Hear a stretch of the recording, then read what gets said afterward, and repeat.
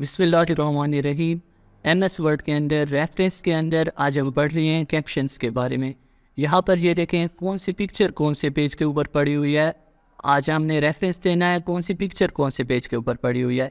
अगर यहाँ पर मैं कसर लाता हूँ, देखें, लिखा हुआ आ रहा है control plus click control click करता हूँ तो फौरी तौर पर उस पिक्चर के ऊपर भी पहुँचता हूँ।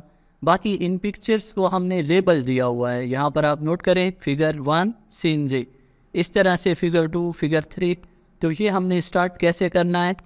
पहले तो मैं न्यू डॉक्यूमेंट्स ले लेता हूँ, बिल्कुल शुरू से मैं स्टार्ट कर लेता हूँ, कुछ लिखा ही लिख लेता हूँ। यहाँ पर मैं कुछ पिक्चर्स ले लेता हूँ फॉर एग्ज़ाम्पल यहाँ पर मैं इंटर कर लेता हूँ। इंजर्ट पिक्चर यहाँ पर मैं दिस डिवाइस यहाँ से एक पिक्चर ले लेता हूँ। और इस पिक्चर को मैं नाम भी दे देता हूँ। रेफरेंस के अंदर ये इंसर्ट कैप्शंस के बारे में हम पढ़ रहे हैं, देखें, लिखा हुआ आ रहा है लेबल यूर पिक्चर और ऑब्जेक्ट तो मैं यहाँ पर इसी के ऊपर क्लिक करता हूँ इसको नाम देने के लिए।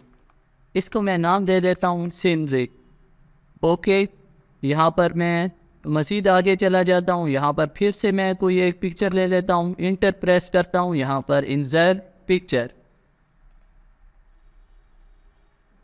यहाँ पर ये डक की पिक्चर मैंने ले ली है।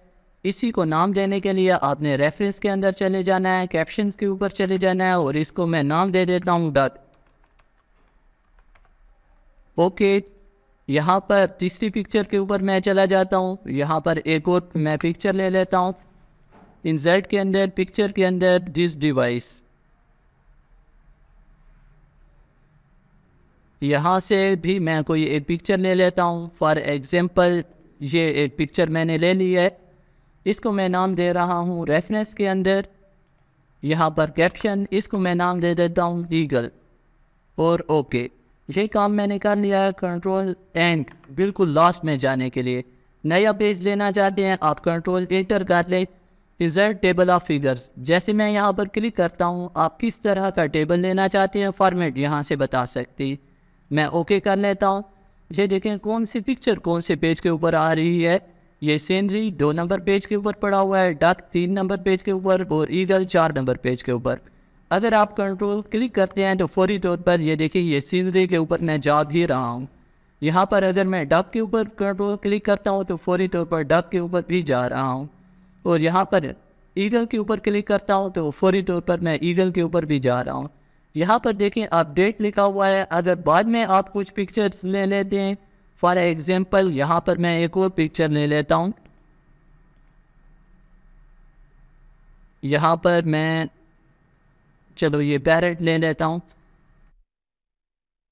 यहाँ पर रेफरेंस के अंदर इंसर्ट कैप्शन इसको मैं नाम दे देता हूँ पैरेट और ओके अभी आप यहाँ पर नोट करें लास्ट में मैं कंट्रोल एंड से आया हूँ।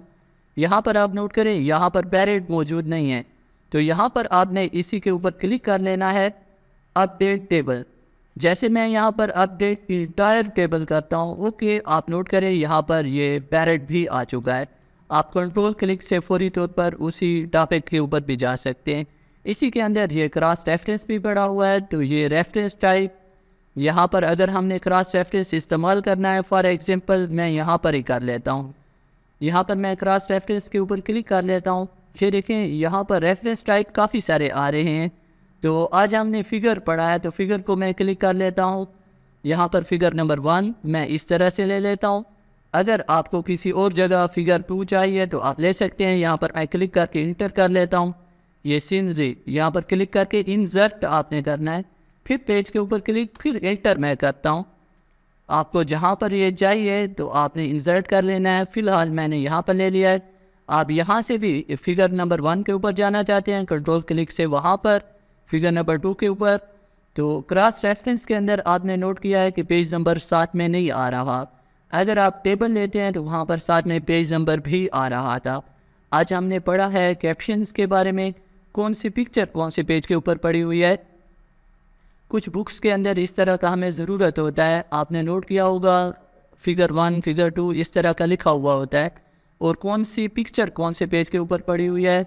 ये हमें कैप्शंस का ऑप्शन बता रहा था। आपने इसकी अच्छे तरीके से प्रैक्टिस कर लेनी है। थैंक्स फॉर वॉचिंग अल्लाह हाफिज़।